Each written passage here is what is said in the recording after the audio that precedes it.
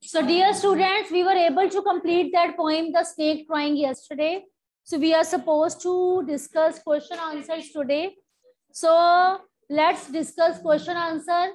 We were not able to discuss question number one properly. So I'm going to continue with the same one. So I have first question. What is the snake trying to escape from?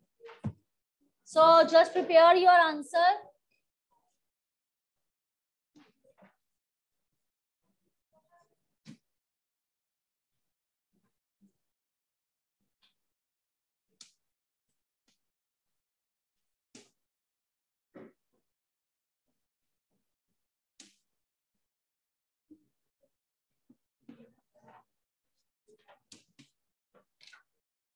What is the snake trying to escape from? The snake is trying to escape from human beings as, as a snake can. Uh, the snake is trying to escape from human beings as they're trying to kill him.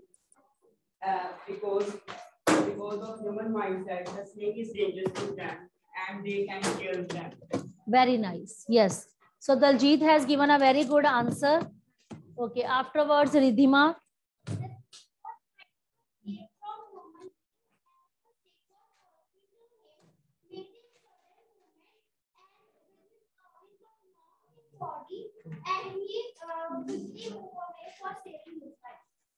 Yes, very nice. Because she has added one point that the snake was pursuing it. Sorry, uh, one of the stick was pursuing it. And this stick was pursued by one of the human being.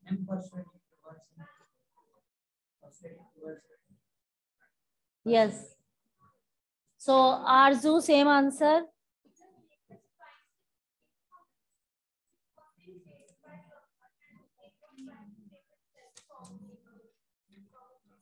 Okay, good. Okay, now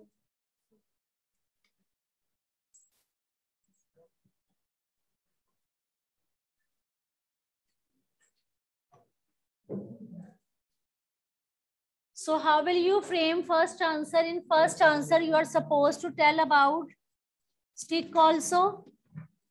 Use vocabulary word that pursue also. And then the snake is under, tell me, under threat it wanted to it wanted to save its life. It wanted to save its life. So this is the reason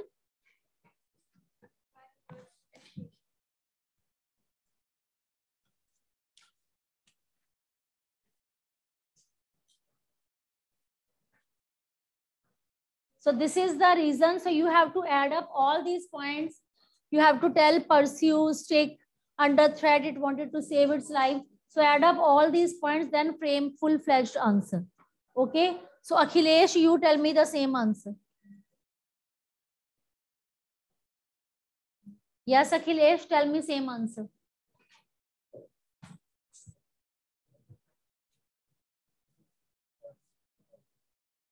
Huh?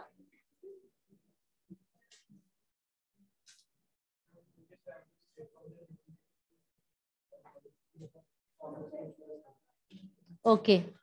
Now let's move to next question. Next question we have is, is it a harmful snake? What is its color? Can you say it was harmful? Because it did not cause any harm to any of the human being. And what was its color? Green. Green. Its color was green. So who is going to tell me full-fledged answer? Yes, Divya. Come here in front of camera and speak your answer.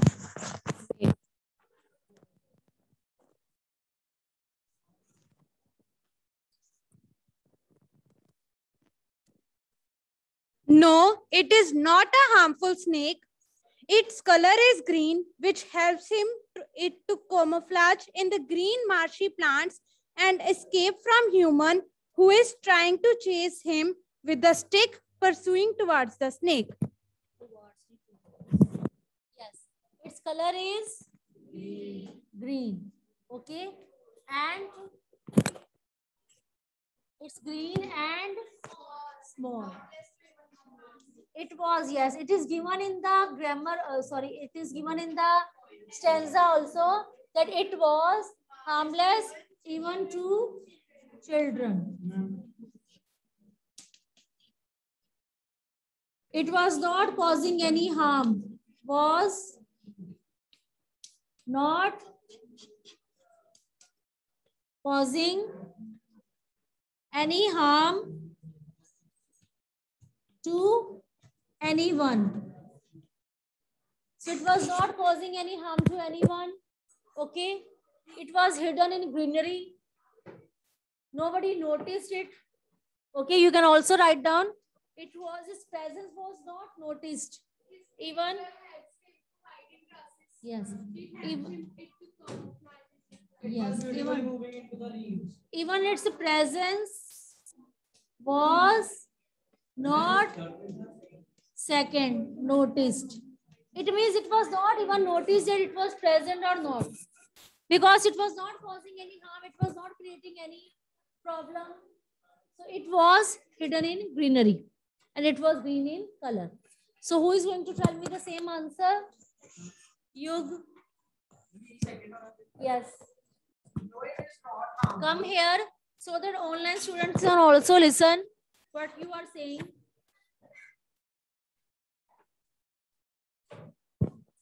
No, it is not harmful.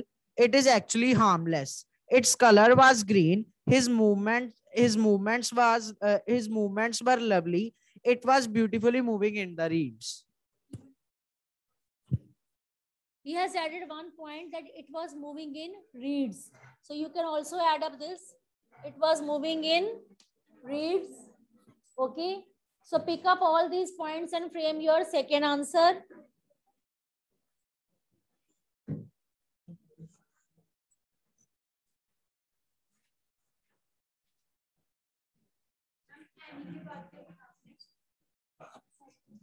Any harm to anyone. Come fast, beta. Why are you wasting your time? Yes, come fast. No, the snake is not harmful as it was not causing any harm to anyone. Its color was green and he was just moving by curving his body to escape himself and wanted to save his life. Also, his green color was helping him to hide himself in the reeds.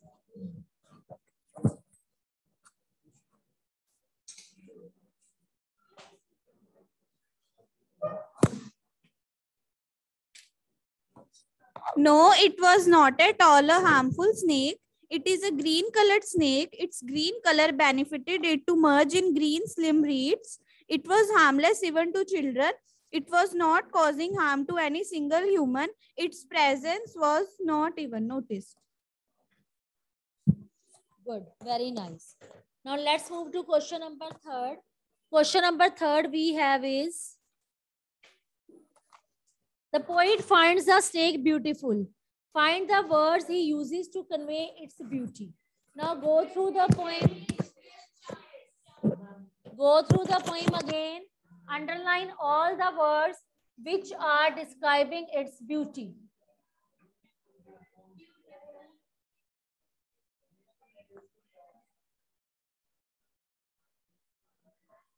क्या हो गया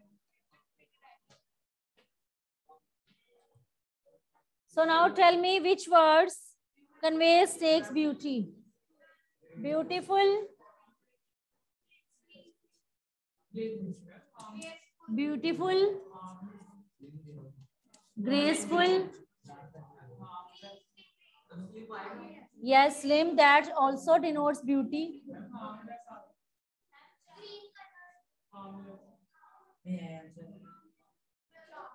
Small and green. Very good. Wings, uh, wings of thin, thin and long body. Small and green. And another phrase that you find that is used to describe its beauty. Beauty, beauty. From that phrase, you come to know about its beauty. Yes, very good. Glides. Yes, curving of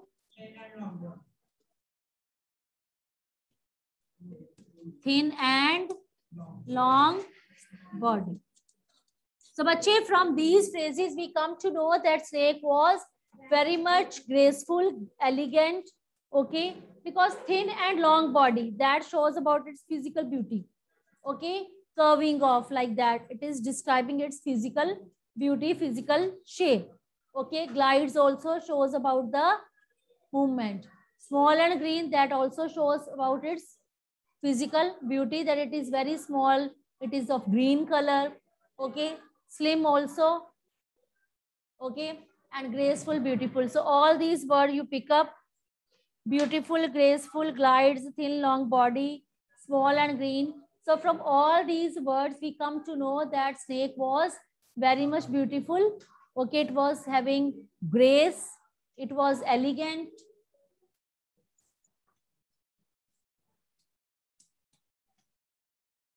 Clear? So same answer, who is going to tell me in detail? Aditya, you come.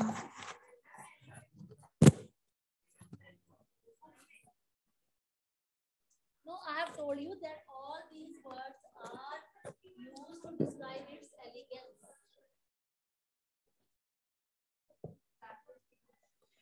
The poet discovered the snake beauty and and this sorry the poet discovered that the snake was uh, how beautiful and splendorous. The poet mentions in the poem that how beautiful and graceful are its, are its shapes. And also in the next verse he described his color and the shape that it was uh, it was green and uh, cur- having curving and thin long body. And then he moves away in the, in the reeds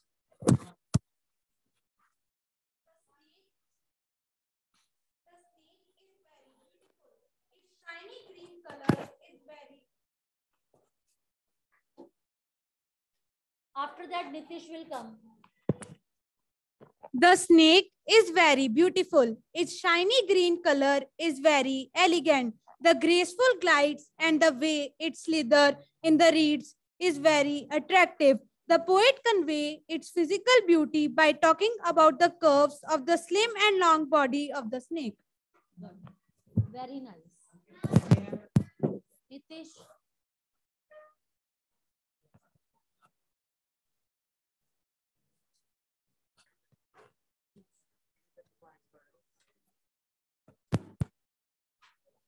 the poet is saying that very, it is very beautiful. It's looking very graceful. And it's uh, slim uh, uh and is it is in green color. And it uh, glides in the uh, reeds very very fastly to escape from the hitting of a person.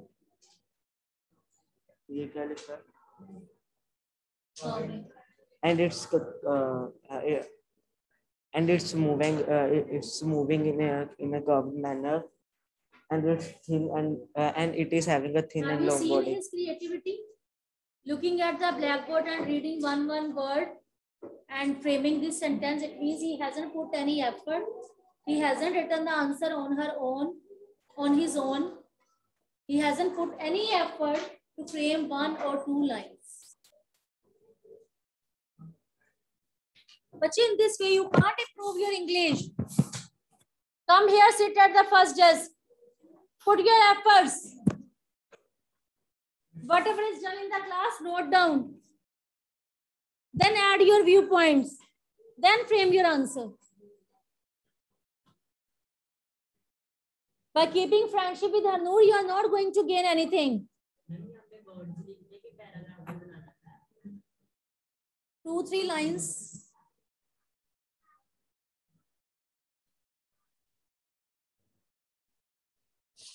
What does the poet wish for the snake? So go through the stanza again and find out what is his wish for the snake. It should be hit. So what is the intention of poet? It should be allowed.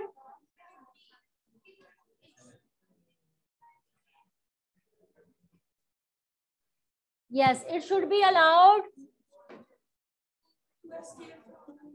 to go unhurt. It means nobody should hurt it. It should be allowed to go unhurt. And afterwards, why it should be go unhurt? Because it is, yes, it is harmless. Even it is harmless to, it is harmless to, yes, it is unnoticed. Nobody has noticed about its presence. So it is unnoticed. So that's why what is the wish of a poet? It should not be hit.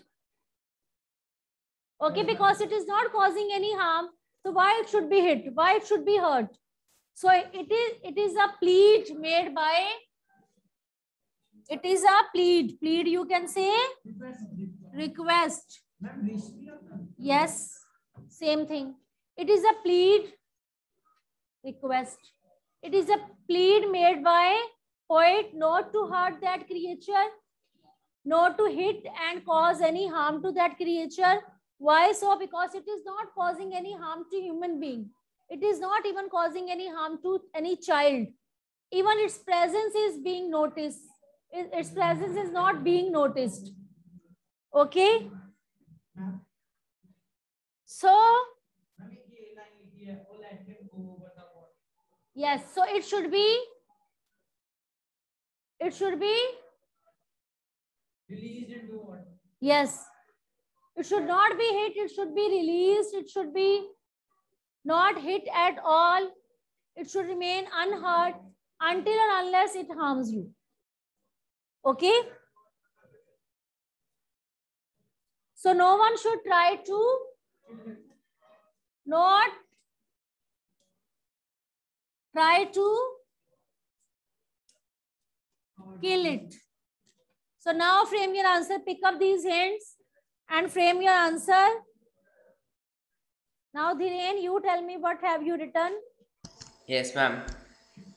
The poet wished for the snake that the innocent and pretty snake should be let go through the water into and let it be high to the reeds of the water. It should not be hurt as it is an innocent and a harmless snake. It is not even un, it is unnoticed and it's not he hadn't caused any damage or to any type of thing which can cause serious natures.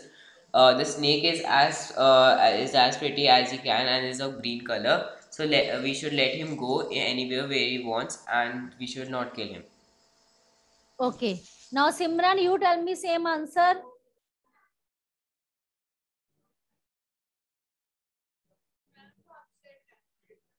She is present online. Simran, you tell me this answer.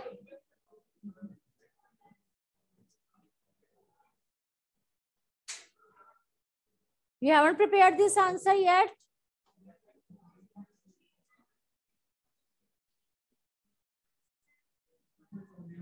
Any another online student?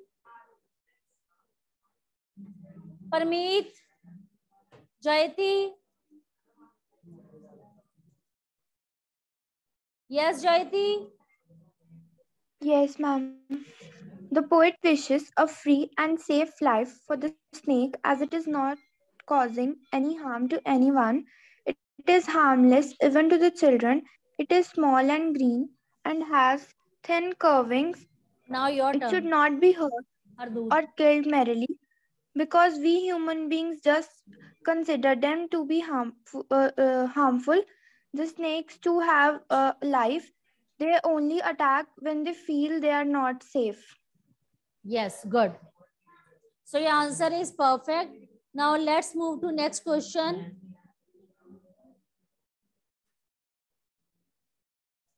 Next question we have. In between, I will keep you silence. It is my duty. Tell me, or your duty to maintain silence. You should have control on yourself. In between, when you get time, you start framing your answers. She is doing well. She is topper one. What about you? Tell me. I don't think so because she never gives answer. She never participates. She never raises her hand in the class.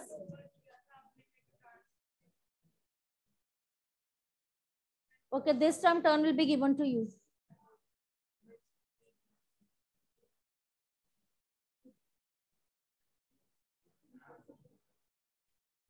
Now, next question we have is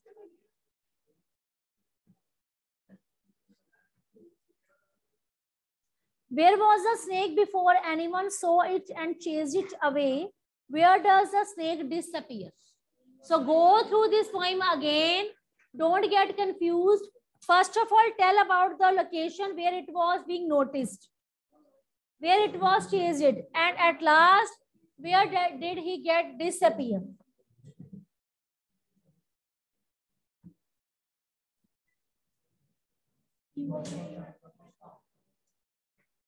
Tell me. Hurry up. Where was the snake before anyone saw it?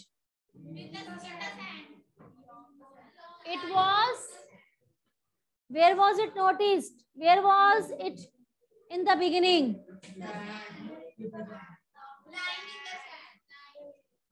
It was lying in the sand. Okay. It was lying in the sand in the beginning. Afterwards, the snake was lying along the sand when someone noticed it and chased it away. Okay. Now, why did it move? It wanted to, it wanted to save its life. Okay. So that's why it escaped. And finally, where did it escape? Huh? Yes, very good. In the ripples among among green green slim reeds. So, bache, you have to pick up beginning where it was found. It was found in the sand. What was it doing? It was lying. Okay. So, after that, when he found that somebody was going to chase it, so it wanted to save its life. So, it tried to save and it uh, started escaping here and there. And finally, where was it found? It went into the ripples. And where were those ripples? Among green slim reeds.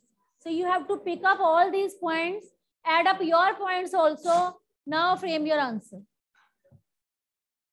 Clear? Now Divyanshi, you come.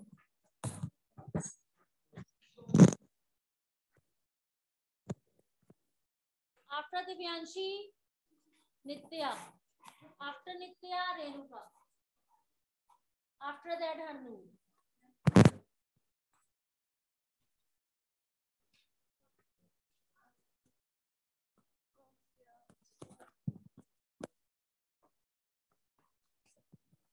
The snake was on the sand before anyone saw him and uh, he used, he escaped from it because humans mindset are, are this that the snakes are very horrif- um, are very harmful. Its green slimy color helps to vanish him in reeds and when the human get horrified they get the stick. Due to pursuing the stick the snake uh, moves more quickly and vanished in reeds in order to save himself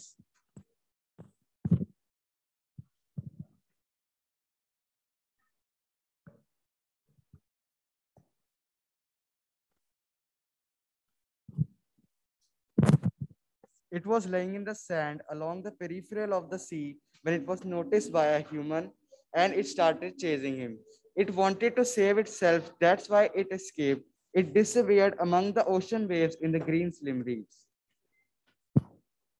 You add up some lines from your own. The snake was gliding through the water away from the stroke and lying in the sand before anyone saw it and chased it. When the snake noticed the presence of any human, it disappeared in the green reeds. It vanishes because of the fear of being killed. Because of his green color, he was not even visible in the green reeds. He was harmless and unnoticeable. Still, he has to escape from the pursuing stick of human.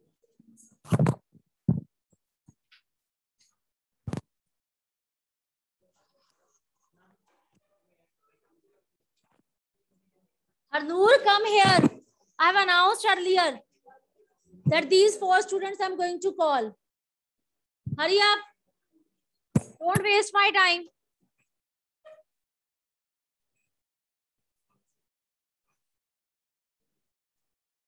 इधर आ जाओ mic मैं पकड़ू तुम्हारे लिए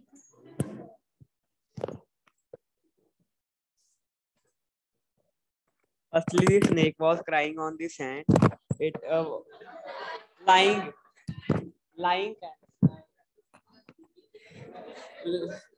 मैं lying cat. Firstly, the snake was lying on the sand. It wanted to save his life from the human, and uh, it escaped. It disappeared among the uh, ocean waves in the green sling. He has added only one word here disappeared. Rest of the he has, you can say done copy paste.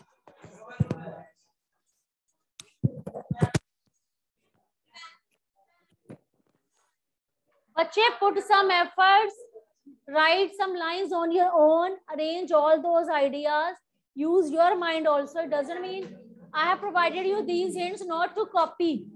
These are only hints so that you should be able to frame answer, but you have to add up some good points on your own. Only then your quality and your writing will be improved.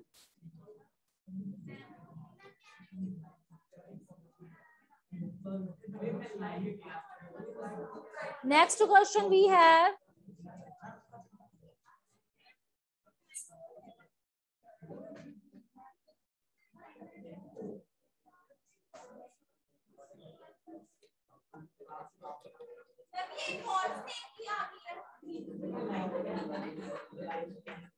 Listen, we are able to do these short questions. See, now I will make too silent. We have done these short questions. You do these questions in your fair notebook. Yes, these were short, only two to three, three lines. So now I'm going to give you one long question. You just uh, start writing some of the points on this, write down. The poet has expre expressed his emotions. Write down. The poet has expressed. Keep silence, girls. The poet has expressed his emotions and his love and his love for the snake. The poet has expressed his love, his emotions for the snake. Love is natural. Love is natural and understandable understandable how do you see love yes how do you see how do you see love to be essential?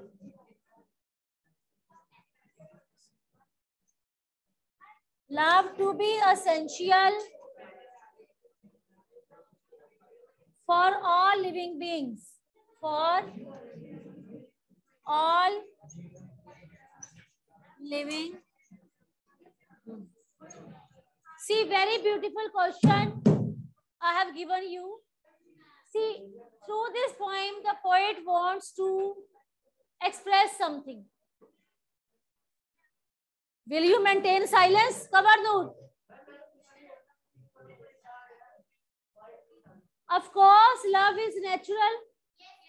Love is understandable. Okay. So,